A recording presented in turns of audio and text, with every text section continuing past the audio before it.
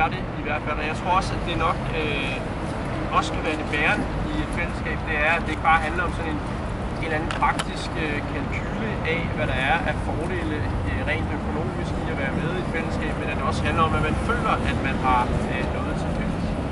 Det synes jeg jo, vi har. Jeg synes, vi har en øh, historie, øh, og kultur, utrolig mange bånd, som, øh, som binder os sammen. Øh, og for mig ville det være ligesom at blive udelukket fra mit eget land, hvis øh, det var sådan, at vi skulle splittes op. Så ville jeg, jeg synes, det var ligesom at miste min højre arm. Jeg ville være enormt ked af det, øh, hvis, det hvis det skulle ske.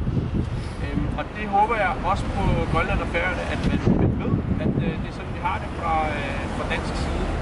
Øh, det er jo op til øh, Grønland og Færøerne, må vi sige, om, rigsfællesskabet skal bestå, fordi I ved godt, øh, at øh, vi ønsker, at det skal bestå. Øh, der kan godt være nogle dumme kommentarer engang imellem, når man læser på, øh, på internettet, øh, når det handler om, om Grønland og Færøerne, og det er selvfølgelig træls at høre på, men overordnet set, så ønsker danskerne jo, at øh, rigsfællesskabet skal, øh, skal bestå. Jeg tror, der er... Øh, der er, nogle, der, vi er nødt til at gøre noget mere for, at det kan bestå, og der tror jeg, at vi øh, skal sørge for, at vi har mere fokus på det i vores arbejde i øh, Folketinget. Øh, Øh, jeg har siddet i dag, så sent som i dag, og snakket med udenrigsministeren om, hvad, øh, hvad, hvordan håndterer vi øh, rigsfællesskabet.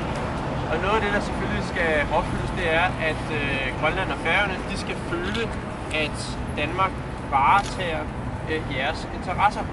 Man gider selvfølgelig ikke være med i et fællesskab, hvis man ikke føler, at øh, dem, som man er i fællesskab med, også kæmper for ens øh, interesser.